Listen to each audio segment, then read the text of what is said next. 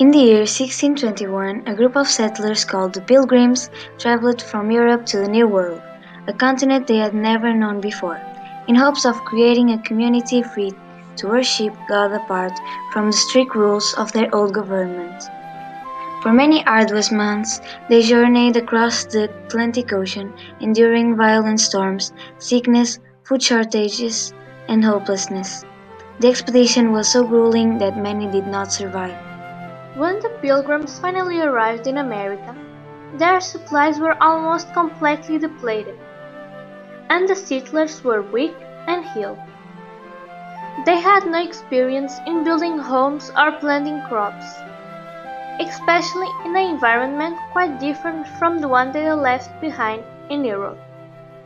Their hopes of building a community in a new world seems almost impossible when they realized they were unprepared for life in this strange new place. Fortunately for the pilgrims, there was a group of native people living nearby.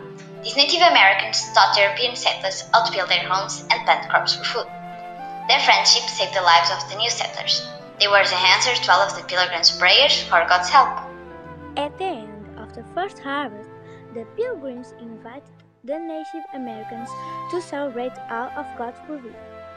For three days, the two groups feasted together, celebrating their partnership and the many blessings they had been given. Today, Historians have updated ideas about what really happened on that first Thanksgiving. More and more schools are rethinking how they teach the Thanksgiving story to students, including multiple perspectives about the way the early settlers treated the Native Americans they met. A closer examination of history suggests the meal was not necessarily a happy one.